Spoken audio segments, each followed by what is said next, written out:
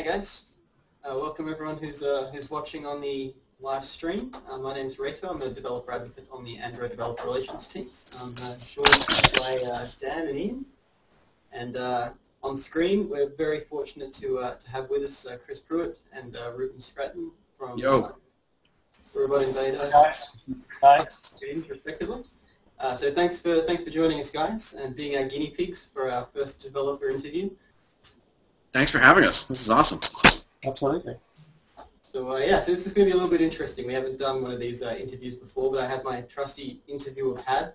Uh, we've got uh, Google moderator going as well, so if uh, people are watching and would uh, like to join in and ask some questions, throw them in the moderator page, and uh, after we've finished uh, this little bit of uh, interviewing, I'm going to open this up to my extended circles as well, so we'll hopefully have some live questions. So, uh, so let's get started. Uh, let's start start by uh, telling us a little bit about um, the games you guys have developed. We'll start with uh, with you, Chris, because you're on my left. Um, tell us a little bit about uh, Wind-up Knight. Okay. Uh, Wind-up Knight is a 3D action platformer game. We shipped it for all Android devices that support OpenGL ES 2.0 and above in very end of October of last year, like the 27th, 28th, something like that.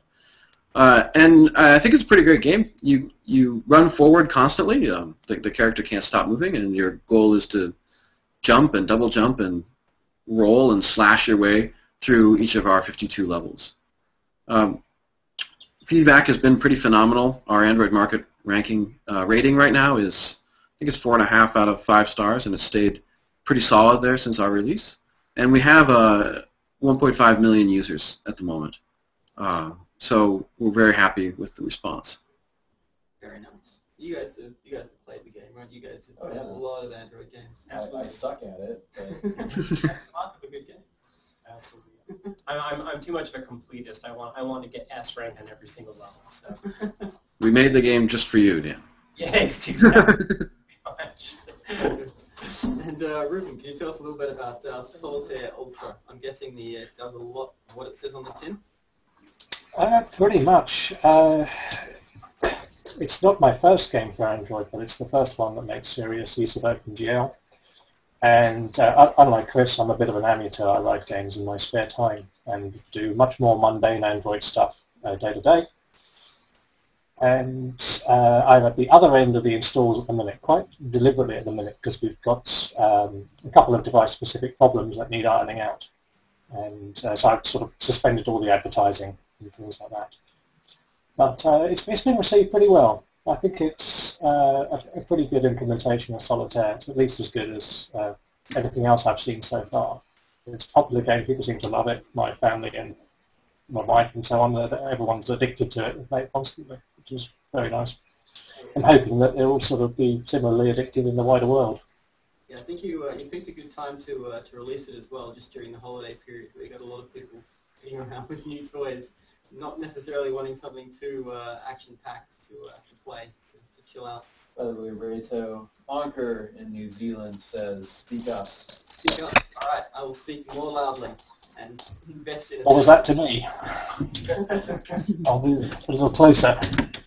All right. Um, okay. Cool. So that's that's a, a good bit of background. So I guess um, I guess given that this is a technical forum, the question which most people are going to want to know is, how did you guys go around uh, building your applications? Were they built using a, a game platform, or the whole thing from scratch? Um, you know, how did you go about it? Again, Chris, do you want to start? Sure. So before working uh, on Wind-up Knight, I have built other game engines for, for Android. The the one that actually turned into a game was a game called Replica Island, which I released a couple of years ago, and that was entirely Java. And uh, before, in between Replica Island and before uh, working on Wind-up Knight, I played around with some NDK stuff and writing some code in, in C++ and then sort of bootstrapping it with Java and, and doing all my, my, my rendering that way.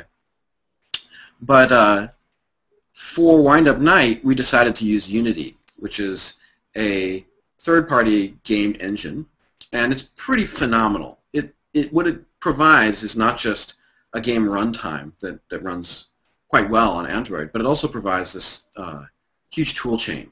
It gives you an editor, it gives you an authoring environment, it gives you a programming environment the debugger, uh, and allows you to rapidly build uh, on a PC and then deploy directly to the Android device very quickly.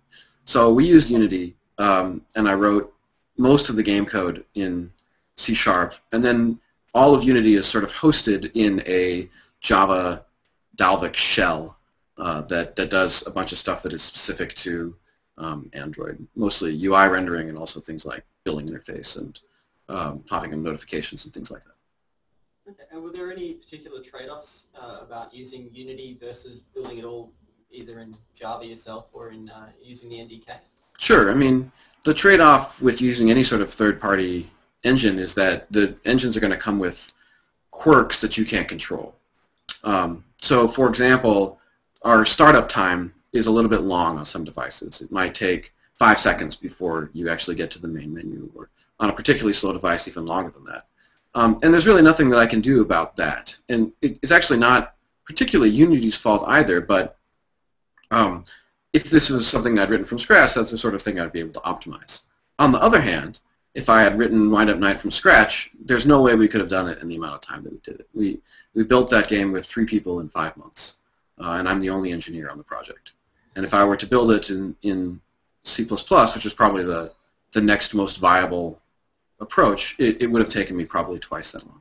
So the trade-off is, you know, you, you accept some um, quirks or limitations that, that come with the engine, although honestly in, in Unity's case there's very, very few of those.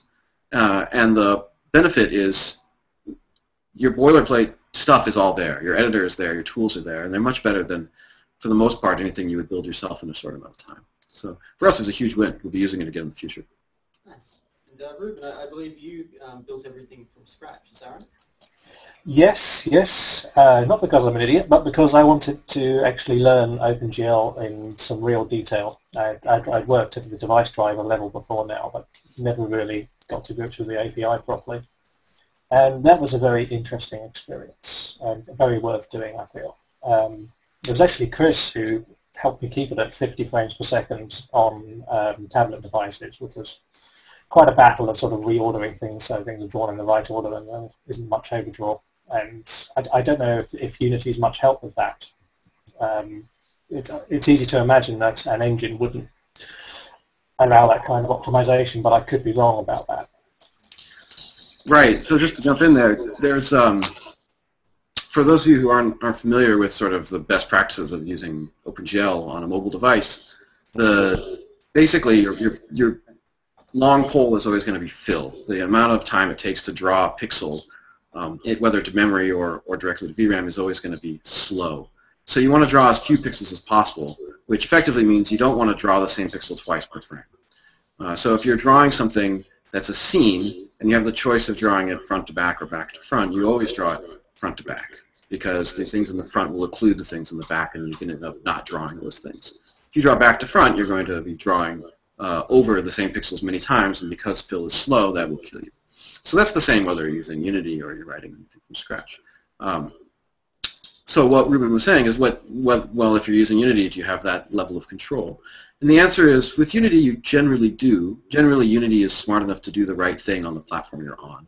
Um, its its renders its renderer is optimized specifically for OpenGL ES 2.0, so it it has a pretty good idea. And when it's not sure, you have the ability to sort of go in and force it to behave a certain way.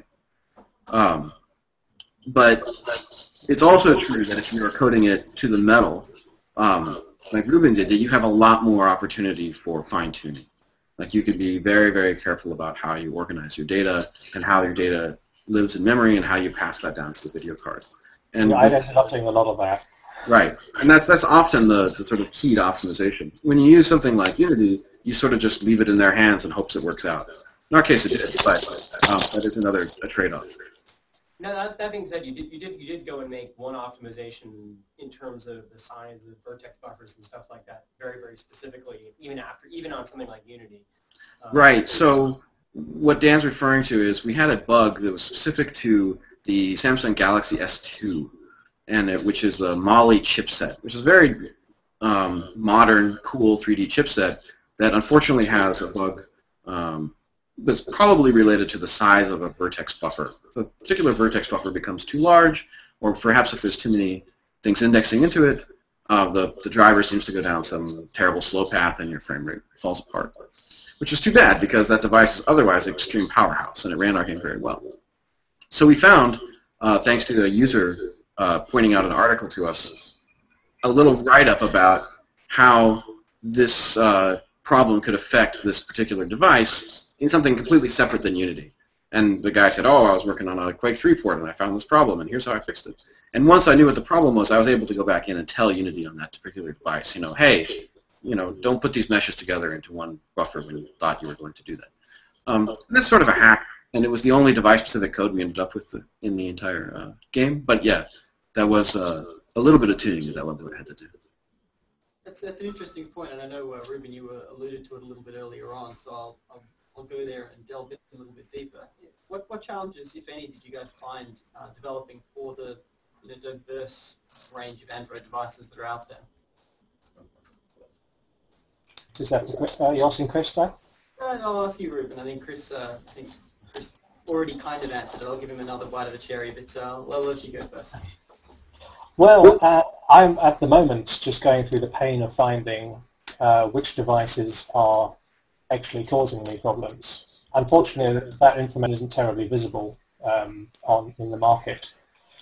Um, so, for example, we've got I've got a couple of crash reports uh, which say platform other, and it, it's buried in sort of OpenGL setup. There's something wrong with uh, the context creation there or the uh, EGL config. But I, I, have absolutely no idea what platforms that's carrying on. It's certainly never happened on any of my eight devices. And um, yeah, so I'm just getting a handle on that at the minute. I'm just waiting for someone to sort of come back in one of their reviews to say, hey, it doesn't work with my Motorola this or Samsung, whatever. Um, I, have been using Device Anywhere and Perfecto Mobile and just going through whatever devices I can. I haven't hit any, found any problems yet. One thing that I noticed um, about user reports is that there's a pervasive idea among Android users that there are going to be device-specific issues. And so often, when there is an issue, people will chalk it up to something wrong with the software or something wrong with the device. So we haven't had so many of these on uh, on Wind-up Knight, but on Replica Island, I had a lot of people say like, "Oh, crashes on Droid." That would be the comment. Or um, Nexus One crashes at second level. And I look into those problems, and in fact, you know, I was like dividing by zero or something like that. It, yeah, it crashed on Droid, and it crashed on Nexus One, and it crashed on every other device too because it was totally my fault. Um, but the user doesn't know how to tell the difference between a device-specific problem and a, just a regular bug.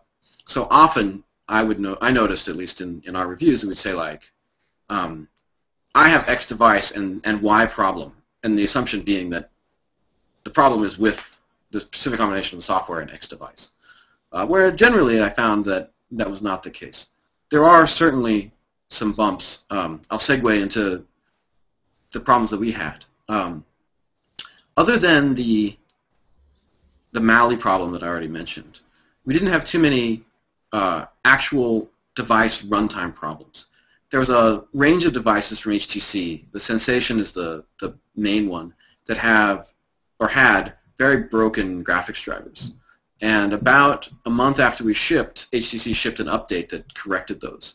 So we didn't actually have to do anything. HTC was on it, and they they fixed it, which is fantastic because it allowed us to sort of unblacklist those devices. Otherwise, we would not have had a way to fix them. Um, the other big problem that we had was not related to our code at all, but just that we have an application that's larger than 30 megabytes. And there's a whole range of Samsung devices that are incapable of downloading large applications. Oh, that tiny partition, yeah. Right. So there's a there's a lot of users out there who have a lot of really nice Samsung devices, and um, they're unable to uh, to download large applications. That's actually fixed now. This is my daughter. Say hi, sweetie. Could you wait for me outside for a moment, sweetie? No, Daddy. Yes, no. So, um, so the uh, Samsung Galaxy S and Infuse and Vibrant and all of the other sort of similar devices uh, from Samsung that have the same problem, those users were all very incensed that they're unable to download the game. And they don't understand that you know their device is flawed, and they don't understand that the developer has no control over downloads from market. So we, you know, got this huge deluge of emails from folks saying, I can't download the game. So we go into Android Market and say, okay, you're no longer compatible. And then we get emails saying, why isn't my device compatible? Um, fortunately, Android Market uh, has been modified to work around that problem. And as of uh, late last year, we unblacklisted all of those devices. And um, now everything is fine.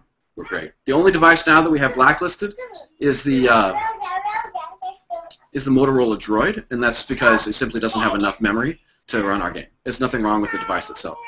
Excuse me for just a moment.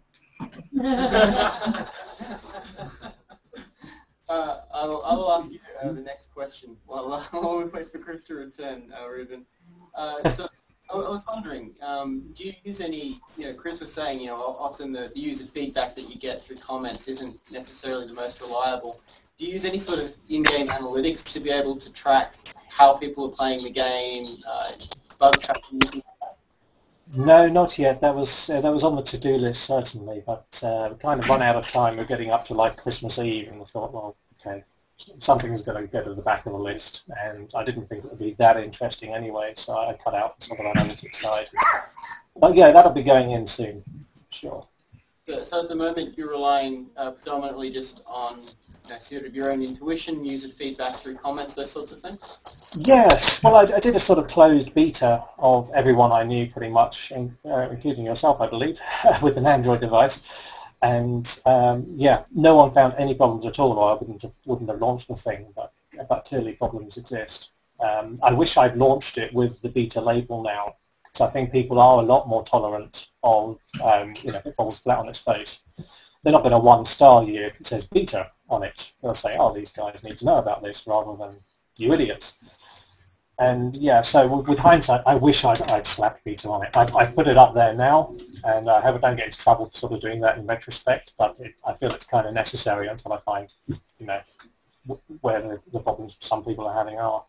So that's interesting. So you actually found that the uh, the tone of the feedback that you were getting from users was uh, much less critical, uh, just simply by describing the app as beta in the, in the market listing. Absolutely, yeah.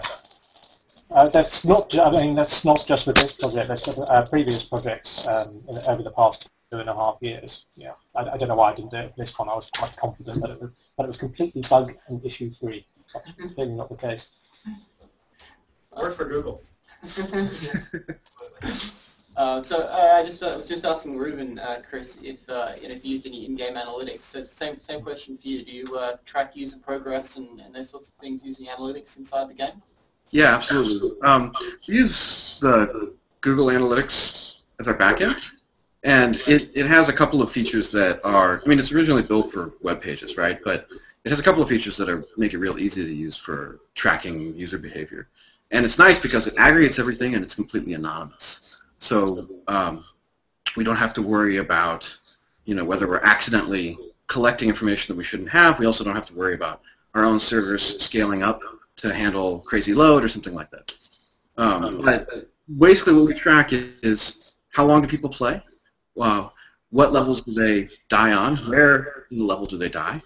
Uh, we also look at what items are most popular, and we look at certain user behavior things. Like I pop up a uh, dialog box that says, hey, you've been playing the game for a while. Would you like to go rate it on Android Market? And I can tell how many people say yes or no to that. Um, so we do do a lot of tracking of behavioral things.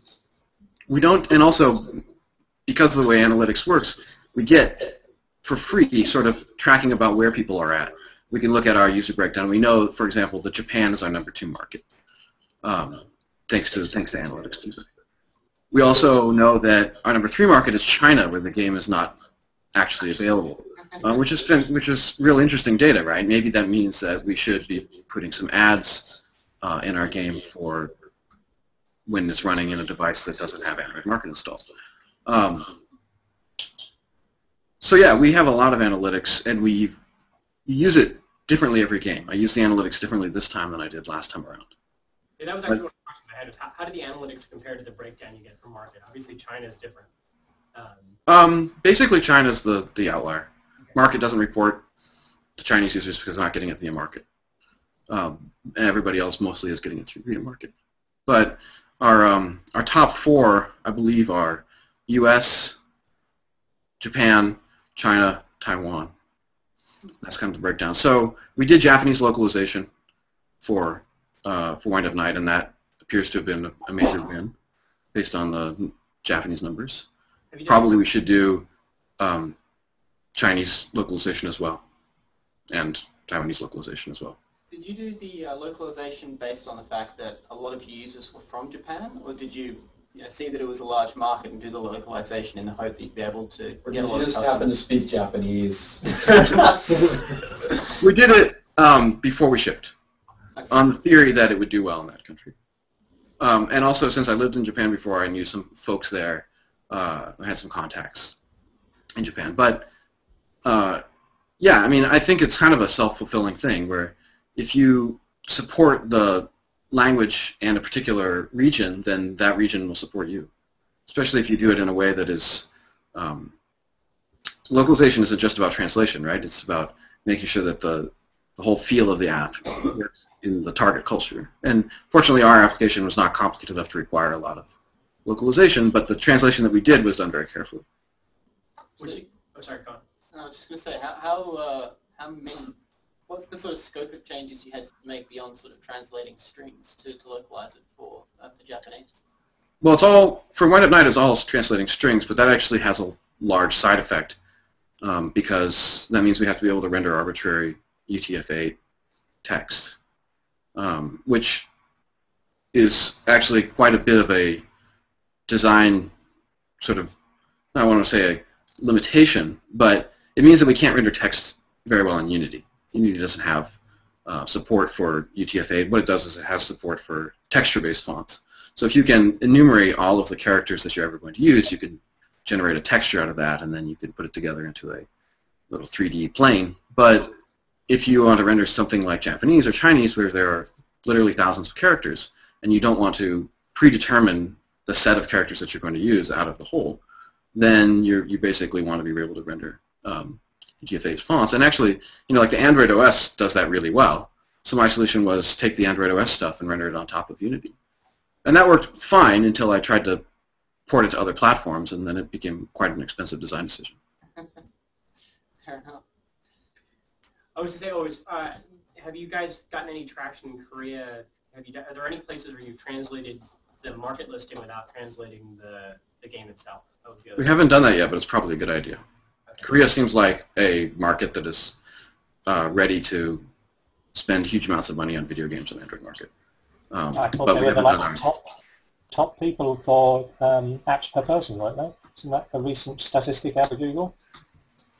I would not, I would not be surprised. We haven't been able to find um, a translator that we trust as much as the translators that we had do our Japanese translations, um, which is the main reason for our lack of Chinese or, or uh, Korean translation. We have a fairly difficult game to translate, I think. Mhm. Perfect. Uh, so I, I guess my, my next question sort of uh, delves a little bit into something again you alluded to earlier, um, monetization. Um, I think both of you guys use in-app billing to, to monetize your apps. Um, I'd be interested to know what your experiences were like, why you chose to, to, to use that as your monetization strategy, how successful you think that's been, uh, or how good a decision, or how happy you are with that decision, I guess. Um, maybe start with you, uh, Reuben. Uh, well, I've got a very simple use of in-app billing going on. You, uh, the game shows with an ad, and uh, you can buy for sort of like a, dollar forty-nine uh, ad freeness, and then you don't have any ads obscuring your play. Very simple. I didn't do a lot of uh, market research or anything, and implementing it was pretty painless. Actually, the the sample code was pretty good, made a lot of sense, and was straightforward. The only issue I had is um, the first like 20 or 30 orders uh, that were weren't in Europe were automatically cancelled. And there's there's no obvious reason for that. And it just so happened that uh, someone at Google was one of the people who was buying it, and they looked into it and the market team. This is over the Christmas break. And yeah, it just seems to be just one of those things, transient problem, it disappeared. But for a while I was thinking, gosh, what have I done? There was no problem in, in the game code at all. So, uh, so obviously, if you're using in-app billing to remove the advertising, you're using uh, advertising as well. Um, you know, can I ask how well those two are, are doing for you? Does there seem to be a, a particular, like, is the uh, is the advertising becoming uh, sort of more useful, or in terms of driving revenue? Uh, that's for me, right? Um, and the advertising is generating a lot more revenue for me at the minute uh, which is kind of what I expected to happen, to be honest. Um, I, I play the game with the add-on all the time. It doesn't bother me in the slightest. Um, yeah, I have to say that you've actually, the way the banner ad's been implemented, it's really inobtrusive, so there's not a huge incentive to remove it. Uh, I wish everyone thought so. It turns out that on a 16 to 9 aspect ratio screen, that advert gets a lot more annoying. But um, I didn't know that um, until very recently. That's something that I'm about to fix. Yeah, one, one thing that I, I think that is really a good thing to have uh, the ability to remove ads because users complain if they can't remove the ad, and they'll, they'll sometimes give you a low rating, you know, but, but in fact, it's one of those things that not that many users will use. The ads are, you know, reasonable. So it's sort of interesting. Mm. And what about you, Chris? Uh, I don't think there's any advertising in yours, so it's just uh, in-app billing. Is that right? That's right. So the game is free, and um, we actually have this super complicated system that we came up with that in hindsight is too complicated for its own good. But the uh, our idea was that we are not very happy with a lot of the way that some free-to-play games implement their billing systems. Um, I think that Reuben's example is a great example of how to implement a straightforward in-app billing system. But there's a lot of games that um, will sort of lead you down a path of um, purchasing in order to not improve the game, but to wait less. That they'll introduce um, sort of a false blockade or some sort of uh, false obstacle that either takes effort or time to complete, and not because it's a good game mechanic, but because they want you to buy your way around it. Um, and no, no disrespect to the companies that are making millions of dollars doing that because there's plenty of people who love those games. And, uh, you know, far be it from me to say that those people are wrong. But when we made our game, we didn't want to, we wanted to be a game that is skill-based. And a skill-based game requires a sort of mutual respect of between the developer and the player. And that meant that we couldn't have superfluous sort of obstacles in, in the game. You had to be able to complete everything by being awesome and if you decided you didn't want to be quite as awesome, you didn't want to put the time in to become awesome, then we would give you uh, the option to, to give us money. But the, the basic approach is that you can play the entire game for free from beginning to end. Um, you have to play extremely well. You have to get the highest rank possible on every level. But if you do that, you will accumulate enough in-game currency that you can then buy your way into the next set of levels without actually spending any real money. If you're not quite good enough, or you don't feel like going back, or you want to spend your in-game currency on other things like power-ups and items, then we sell the in-game currency via an unmanaged purchase, uh, which, which in just like you know a dollar increments or two dollar increments or whatever, right? And unlike some other games, you know, our game has a very definite beginning and end, so there's an upward bound of how much you could possibly spend on the game. If you bought every single thing you could possibly buy, and you got the lowest possible score on every single level so that you have no in-game currency or very little, then your, your maximum spend is like $30. Um, and I think nobody ever spends that much. I think most people spend a dollar or three dollars or four dollars at the most. Uh, and actually, we have a lot of people who have been able to complete the game without spending any money at all and told us how awesome that felt. Um, from an actual technical point of view, we've had a number of problems with the billing just working correctly. Our, our particular use case is complicated because we're using Unity, and Unity is this big uh, library that's not always loaded. You know, in the case where a notification comes from Market, and there's a service that spins up to accept the notification, and the service is the only thing resident in memory, then Unity is not really aware uh, or, or ready to receive messages at that time. So if we don't cache those those messages get somewhere uh, and, and store them off for later, then Unity will never know that, that the purchase has, gone through. So I had a number of bugs with this, and I thought that I'd fix them. We still have users who tell us that they purchase things and their content is not unlocking, and I don't know why yet. Um, I'm, I'm a little frustrated with it at this point, to tell you the truth, because it's been two months and I, I still can't get it right.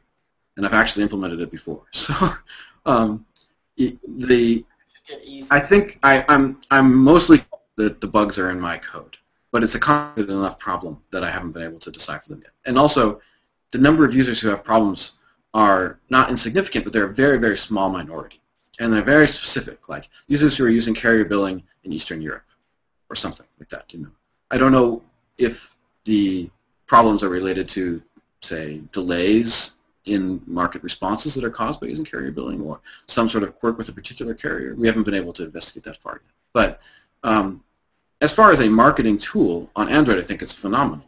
I think users want to be able to play their game, play a game before they spend money on it because they don't they don't know if it's going to work on their device or not, or they want to see if it's any fun.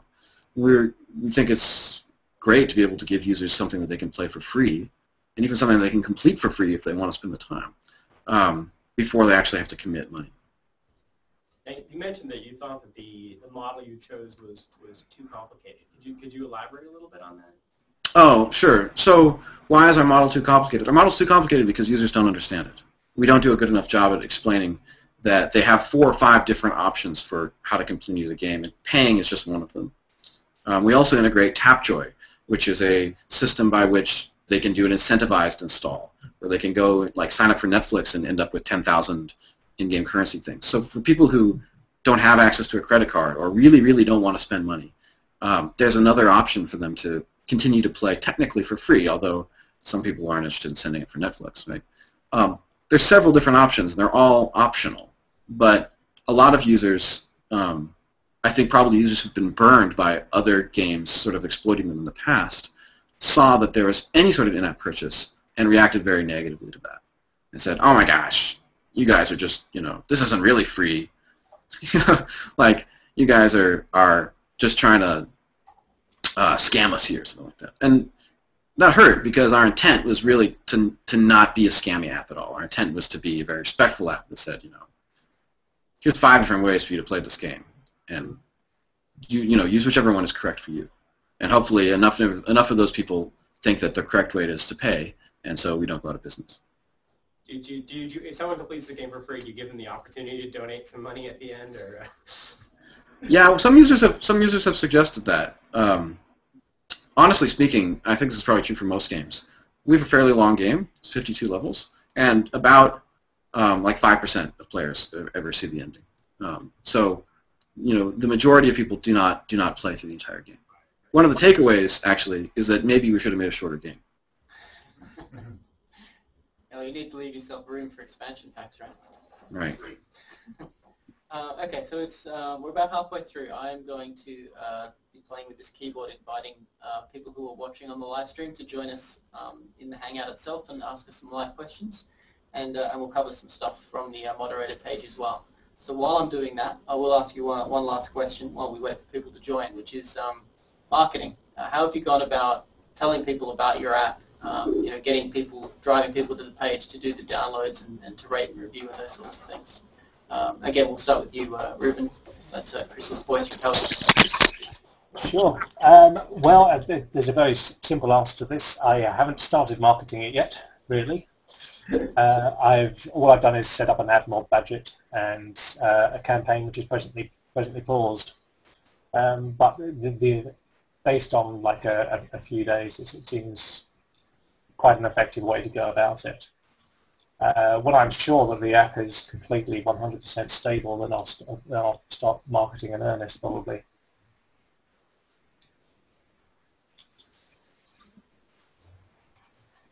You know, sort of submitting it to, uh, I don't know, games sites, Android guys, that sort of thing. Uh, Chris, yourself? Yeah, we did um, our approach has been to try to go try to ride organic marketing as far as we can before we start spending money on advertising. I think probably the next step for us is to spend money on advertising. Um, but we haven't done that yet. So far, what we've done is we've um, we've tried to be pretty active on online. Uh, we've tried to talk about the game on Twitter and on our own blog um, as often as we can, and we've tried to provide you know information like our, our blog has some actual tidbits about development in there and, and you know design decisions we made while writing the game, and we want to have like you know actual content that people find interesting and not just marketing noise uh, constantly coming out of us. So we've, we've tried to just create a, a buzz by using social networks and um, you know basic sort of internet connectivity stuff. We also explicitly approached several uh, game uh, journalists and said before we even released and said we would like to give you copies of this game. We would like to show it to you. You know, do you have time to take a look at this with us? And most of them were like, heck yeah, show us. And um, you know, we, we drove down to San Francisco and saw folks from Destructoid, folks from Tested. Um, we uh, talked to you know people all over the place, and in some cases sent them you know early builds of the game to get them interested, and in other cases just sort of pointed them to the game when um, when it came out, or provided screenshots, things like that. Uh, we had a uh, simple partnership with Sony Ericsson. They they put us in in their game launcher for the Xperia Play in Japan, and the benefit for us was a lot of visibility, and also uh, we got to be visible at Tokyo Game Show uh, at their booth, which was a, a, big win for us. So we haven't done, I wouldn't say traditional marketing at all yet, uh, and I think we'll probably start it as our um, organic efforts sort of start to wind down. But so far, organically, we've been very happy with the response. Of course, the, the number one thing that has happened to us uh, in terms of marketing is being featured by Google. That that is uh, by far the, the most valuable thing that that uh, we could possibly do or possibly get uh, in order in terms of being visible and getting downloads, getting new users. Can I ask you a quick follow up on that, Chris? Sure. Um, so last year you wrote an excellent blog post about how you publicized uh, um, your previous game, uh, Replica mm-hmm. Island. Right. Um, and you did mention that featuring was a big part of that, but it sounds like uh, maybe the value of featuring has grown because I remember last year um, you didn't think it was quite as valuable. Um, yeah, I think the reason is is that the number of Android devices out there is a lot larger than it was in 2010 when I shipped Replica Island. And also, market has changed, and it's much better at um, highlighting applications that have been featured. I, I, suspect that's that's the difference. To give you an idea, um, Replica Island, my previous game, is a much simpler game. Uh, it also has a pretty good rating. It took about 100 days to achieve a million users in that case. And it's a free game with no, no purchasing at all. Wind-up Knight broke a million users in just under three weeks. So uh, I attribute that mostly to high visibility during two of those weeks because it was featured by Google.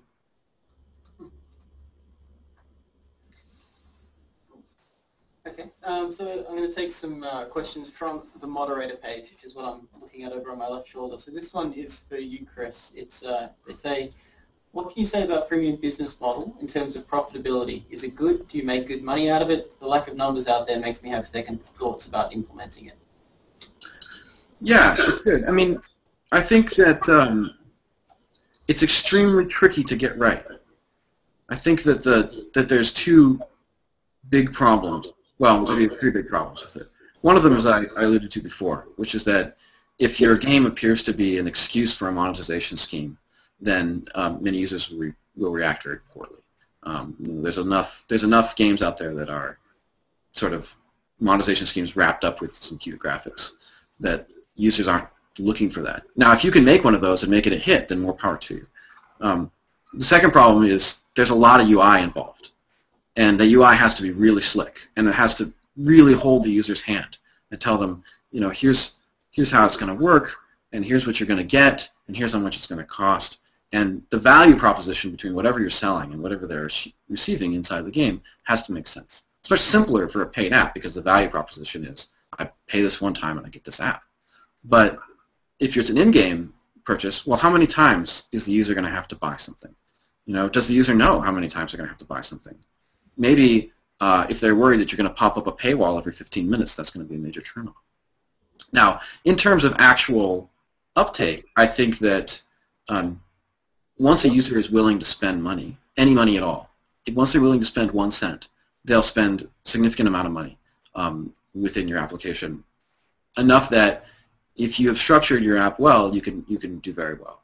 Um, we're doing pretty well. I think we will do better next time because we'll know more about how we're uh, how to structure our UI. But the nice thing about in-app purchase is users don't stop at that price tag that they see on Android Market. You know, they download the app, they get a feel for it themselves, they decide whether or not it's worth it to them, and then they decide their level of investment. Um, and that uh, seems to work very, very well with the Android user base in particular.